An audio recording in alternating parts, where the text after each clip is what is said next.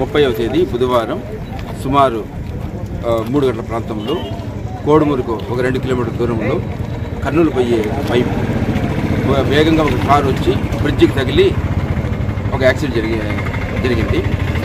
దీనిలో కారులో మాకు అంచనా ప్రకారం నలుగురు ప్రయాణిస్తున్నారు. అందులో ముగ్గురు స్పాట్లో చనిపోవడం జరిగింది. ఆ ముగ్గురులో మేము కనుక్కుంటే మంగళ ఎల్లంరాజు అలగనూరు విలేజ్ మిడుతూరు అని తెలిసింది. అతను కాలు ఒక కాలు బాగలేదు అంటే రబ్బర్ లెగ్ ఉంది. దానికోసం ఎక్కడి నుంచినో ఆదోనుకో అటు అటువైపు నుంచి వస్తున్నాడు.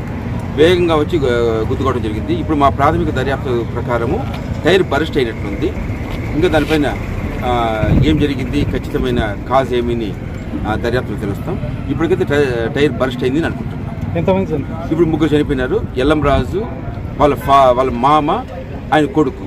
డ్రైవర్కి దెబ్బలు తగిలింది. మా ఇమ్మీడియట్గా మా పోలీసు మా ఎస్ఐ గారు ఆ, హాస్పిటల్కి షిఫ్ట్ చేయడం జరిగింది. బైక్ బైక్ కూడా పడింది. అది బైక్ ఎందుకు పడింది కూడా చూస్తున్నాము. దర్యాప్తు చేసి ఇదే విషయం.